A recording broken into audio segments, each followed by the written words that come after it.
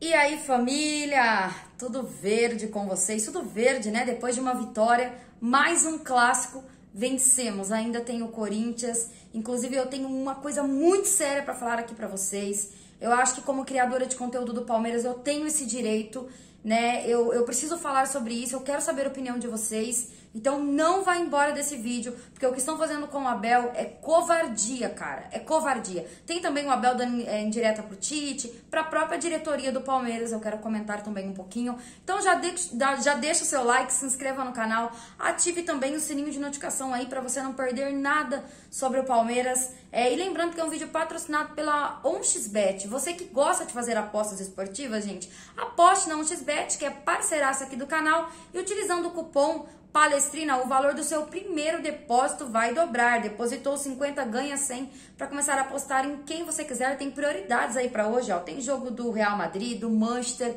Você pode ganhar aquela graninha extra. Além de tudo, o pagamento deles são super rápido. Então, eu vou deixar fixado aqui no comentário. Ajude lá, é o parceiro do canal OnXBet. Fechou, gente? Então, vamos falar de assunto sério hoje, tá? O Abel deu uma coletiva muito legal ontem. Ele foi muito irônico, né? Vocês já devem ter visto, inclusive, o vídeo rodando para tudo quanto é lugar.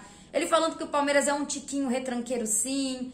Dando uma indireta para a imprensa que nos últimos dias está batendo no Abel de uma forma inacreditável, cara. É o, o pior de tudo isso não é bater no Abel, é bater é, sem ter coerência na fala, né? Falando asneira, sendo pago para falar asneira e você que está me assistindo, muitas das vezes é o que dá audiência para esses canais. Eu vejo porque o pessoal levanta hashtag no Twitter, manda em grupo de WhatsApp, ah, de grupo, em grupo de WhatsApp, porque se eles esperarem audiência minha, vão morrer de fome.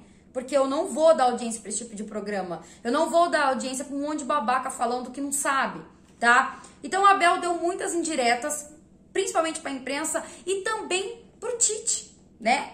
Pro Tite é, para a seleção, mas eu achei a indireta ainda mais, ainda maior para a diretoria do Palmeiras que precisa fazer algo com essas convocações. Ele falou que a presidente precisa pedir, presidente precisa pedir, ele não falou nessas palavras, mas a liberação, né? Porque você está pagando aqui o salário do, do atleta e o atleta está indo lá para ser reserva. Praticamente foi o que ele quis dizer ali na sua, na sua coletiva. Então deu aquela cutucada legal. Vamos ver se a tia Leila acorda e pede a liberação do Everton para ser o terceiro goleiro. Eu falei sobre esse assunto, não vou me prolongar sobre isso. O do Gomes parece que estão tentando a liberação, porque o Palmeiras vai precisar desses jogadores, mas infelizmente, se não tiver a presença deles, o Abel vai ter que mais uma vez, mais uma vez fazer milagre e contar com o que ele tem. Ele cita uma parte também que é, ele hoje consegue manter o mesmo nível, né, com a qualidade dos jogadores quando ele faz a troca. Eu só discordo na parte do, da, da, do ataque. Do, da, quando eu vejo que sai do, do. O próprio Rony, que eu reclamo, né? Às vezes porque perde muitos gols, mas o, o, o Rony ali tá sendo sacrificado. Ele não tá jogando na posição dele, ele tá sendo sacrificado como nove. Então não dá para ter essa cobrança em cima do, do Rony. Mas quando eu vejo que sai Veiga, sai Dudu, enfim. São jogadores. E entra Navarro e Daverson, que só tropeça na bola por enquanto, né? O Navarro, por enquanto, o Davidson a gente já sabe como funciona. É, aí eu vejo que cai sim um pouco a qualidade do Palmeiras e eu vejo, é, inclusive eu vi ontem que foi ali na hora que o Santos tentou sair um pouquinho mais, mesmo com um a menos. Mas tirando isso, realmente o Palmeiras tem um time muito equilibrado. E detalhe, ah, a imprensa batendo no Abel porque o Abel é um time joga com, com é, na retranca, que isso é, é, é estilo de jogo de time pequeno. Time tem que ganhar títulos. Time tem que fazer gol. Não sei se vocês sabem, não sei se a imprensa sabe, mas o que ganha é gol. O Palmeiras fez um gol, venceu a partida. Fim. Palmeiras tá a 10 jogos aí do Paulista sem perder, cara. Sem per... Tomou um gol. Um gol. E em vez de eles exaltarem o que o Abel tá fazendo, ganhando aí quatro títulos, eles estão comparando o Abel com o técnico do Corinthians. Quem que é o técnico do Corinthians? O Vitor Pereira, um português também, que agora virou moda, né? Contratar técnico português, que eles acham que todos vão ter o mesmo sucesso do Abel. É, não sei quem foi o infeliz que falou o, o seguinte, o seguinte, para mim é o ponto chave aqui desse dessa, desse vídeo. Ele falou o seguinte: Vitor Pereira fez o que Abel Ferreira nunca fez. Realmente, ele nunca ganhou duas Libertadores. O Abel sim. Ele, por enquanto, não ganhou nenhum título no, para o Corinthians. O Abel ganhou para o Palmeiras. Pode ser que daqui a dois anos a gente faça uma comparação justa. Pode ser que ele ganhe títulos pelo Corinthians, pode ser que ele, que ele seja um técnico que vai fazer história no Corinthians. Aí eu acho que vale uma comparação. Mas nesse momento, comparar o Vitor Pereira, que acabou de jogar porque ganhou da ponte de goleada com o Palmeiras? Porque o Vitor Pereira vai para cima, que é um time que, que, que é ofensivo. Eu quero que vá pra puta que pariu. Eu quero ver o Palmeiras ganhando. Eu não quero ver é, o Palmeiras jogando futebol fino, lindo, maravilhoso. Se continuar jogando da forma que vem jogando e ganhando títulos e ganhando clássicos, eu quero que se lasque, eu quero que a, que a imprensa se exploda, sabe? Eu acho engraçado de tudo isso é que eles ganham para falar merda. Tudo o Abel não presta. É porque o Abel joga com um time é, fechadinho, time pequeno, foda-se. Enquanto vocês estão reclamando, a gente está ganhando títulos. É hipocrisia. Hipocrisia porque eu sei que hoje qualquer clube no Brasil queria ter um Abel. Queria ter um Abel que mudasse completamente. O Abel mudou completamente o Palmeiras. Os jogadores. Tem jogadores hoje que jogam demais, né? E que já foi colocado em lista de dispensa. Ele recuperou o futebol de muitos. Ele deu oportunidades para muitos ali da base também, né? Vem fazendo um trabalho legal com a base do Palmeiras, entre outras coisas. Em vez de exaltar o Abel, oh, parabéns, cara, olha o que o cara tá fazendo. Não, o que eles fazem é colocar o Abel para baixo, é fazer comparações que não faz sentido algum. Com todo o respeito ao técnico do Corinthians, que pode ser um técnico vencedor para eles no futuro. No futuro. Não hoje, cara. Não hoje. Hoje não faz sentido comparar. Inclusive, fiquei sabendo que ele falou que vai vir para cima do Palmeiras. Ótimo! Então que venha para cima do Palmeiras. O Abel deu a entender, inclusive nessa coletiva, é, gente, não é questão de ser um, do Palmeiras ser um time retranqueiro. Joga no estilo do adversário. Ontem o Palmeiras jogou na retranca? Não jogou, tava em casa, foi para cima do Santos, teve 21 oportunidades que dá aquela sensação de que falta 9. Né, tia Leila? Falta um cara para empurrar a bola ali para dentro. O Palmeiras poderia ter ganho de goleada. E não é a primeira vez que eu sinto isso. Não é o primeiro jogo que eu sinto que faltou gols. Que a gente poderia ter feito mais. Mas estamos vencendo. Com 1 a 0, mas estamos vencendo. E dignamente. Porque ninguém tem o porquê duvidar ou falar que o Palmeiras ganhou ali fora de campo né, no apito, que nem muitas vezes eu vi Corinthians ganhando do Palmeiras no apito, não só do Palmeiras, mas entre outros jogos, né, duvidosos. É, eu acho engraçado que na época, inclusive, o Tite, lá em 2012, que o Tite era, é, ganhou a Libertadores e Mundial aí pelo Corinthians, o, o Tite ganhou um apelido de empatite. Do tanto que empatava, do tanto que era retranqueiro. O próprio Carilli o próprio Carilli, né? Que a torcida venera o Carilli e que a gente tinha uma maldição que não conseguia vencer o, o, o, o Carilli quando pegava o Corinthians, o Carilli no comando, jogava atrás, jogava por uma bola. E eu não via a imprensa batendo, cara, só porque o técnico do Palmeiras é o Abel, é o português. Vocês têm que exaltar. Que técnico vai fazer isso? Ganhar duas Libertadores no mesmo ano?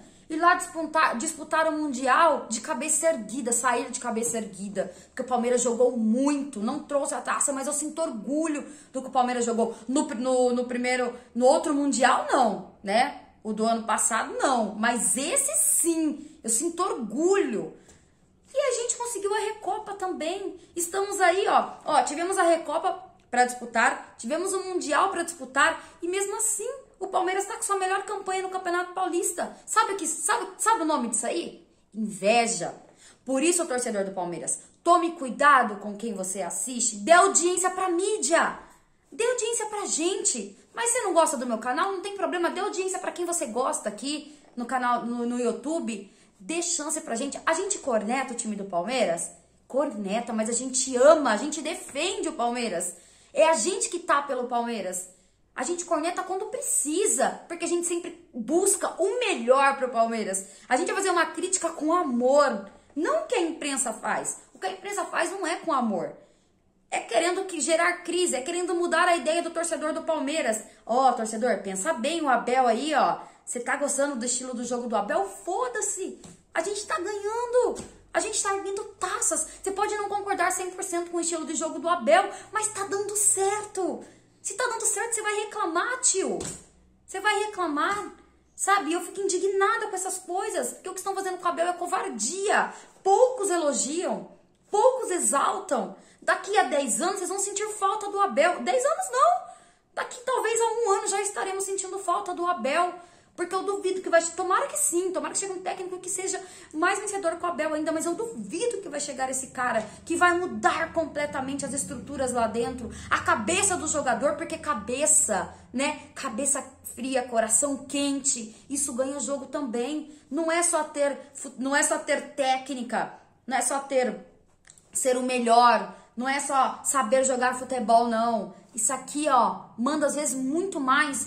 Quantas vezes eu vi jogador do Palmeiras abalado psicologicamente para enfrentar rival e não conseguia? Quanta gente ficou jogos sem ganhar do Corinthians? Parece que eles tremiam né? Quando viu o Corinthians, eu não sei o que acontecia com o Palmeiras, indecisões, o Palmeiras amarelava nos últimos anos, antes da vinda do Abel, a gente agoniado, que o Palmeiras chegava na semi da, da Libertadores, as quartas, e não ia, empacava ali, não ganhava. A gente, sabe, aquela obsessão, aquele negócio, eles ficavam com isso na cabeça e não ia pra frente. Hoje não.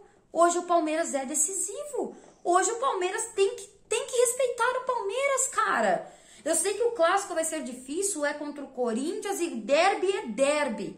Né? E não interessa quem tá do outro lado, se são ótimos jogadores, não. Normalmente em clássico crescem, né? Tanto de um lado quanto do, quanto do outro. Mas tem que respeitar o Palmeiras, tem que respeitar o Abel Ferreira. E aí vocês vão aprender a respeitar o técnico do Corinthians quando ele começar a ganhar títulos. Quando ele se mostrar um técnico valente, Aí tudo bem, aí tudo bem, ao momento do cara você pode exaltar, pode elogiar. No momento tem que elogiar o Abel. E dane-se os outros. Você tá entendendo? Abraça o Palmeiras, torcedor. Abraça. A gente corneta, a gente cobra Leila, a gente cobra nove, mas quando é para estar junto, todos somos um. Todos somos um. Não dê audiência. Assista a mídia alternativa. A gente tem conteúdo bom. Tem tantos canais menores que tem conteúdo excelentes e não tem views. Vocês querem assistir da audiência, por isso que os caras falam. Porque sabe que vai repercutir. Que nem chegou no meu WhatsApp. Tava lá no assunto do Twitter. Tava todo mundo falando sobre a imprensa, o que a imprensa vem fazendo com o Palmeiras. O que o fulano fala, o que esse clã fala. Por que, que não repercute o que a gente fala? Eu tenho certeza que esse vídeo aqui não vai atingir o tanto de pessoas que uma TV, televisão é, atinge. Por quê? Porque você que está me assistindo não vai compartilhar. Então compartilha, dê audiência para a mídia, dê voz pra gente. A gente ama o Palmeiras. A gente critica, a gente chora, a gente é, extravasa às vezes, sim, mas é por amor. Ninguém ama mais esse clube que o torcedor do Palmeiras, ninguém. Então nos ajude, torcedor. Dê audiência, assista nossos vídeos. A gente colocou lá um assunto que você não tá muito afim de assistir naquele dia, mas deixa o vídeo rolando lá, dê audiência pra gente, né? Liga aí no YouTube, deixa o vídeo rolando. Ajude a mídia alternativa do Palmeiras. Não só comigo, faça isso com todos os canais. Todos somos um. A gente às vezes não fica um falando do outro, uma, um, mas a gente, não, a gente é amigos. A gente se conversa, a gente fala um com o outro nos bastidores, né? A gente se encontra no estádio, a gente conversa um com os outros a gente se entende porque nós temos um, um único intuito: amar o Palmeiras, torcer pelo Palmeiras. É o clube que a gente defende. Critica quando tem que criticar. Vamos continuar cobrando nove, tia Leila. Vamos continuar cobrando nove. Mas a gente ama esse clube. Repito, não dê audiência para esses boçais, para esses idiotas, bestalizados, otários, que são o que eles são, tá? São poucos que se salvam, são poucos que exaltam o Abel. São poucos. E o que o Abel fez com o Palmeiras vai ser difícil outro técnico fazer, não só pelo Palmeiras, mas qualquer outro clube aqui no Brasil. Tamo junto, família. Vejo vocês, deixa a opinião de vocês aí sobre tudo que eu falei. Tô revoltada porque é covardia. Sim, sim. Esteja junto com o Abel, torcedor. Vamos lotar o Allianz Parque aí. Estaremos lá quinta-feira para vencer o Corinthians. Tamo junto, a gente se vê até mais. Avante, palestra.